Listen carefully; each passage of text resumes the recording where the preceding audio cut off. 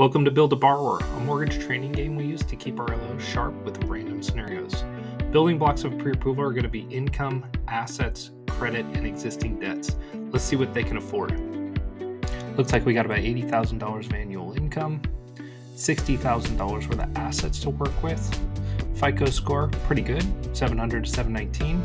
Ooh, heavy debt load. Ouch, $999 a month. And the curveball, well, at least they want 95% of their max qual. So this looks like it's going to be about a $325,000 conventional purchase. With my initial scenarios, I'd probably advise they put 15% down on this. This to be a 30 year fixed, likely with that credit profile, about a 6.5% interest rate, APR of 6.621, so no points being paid here.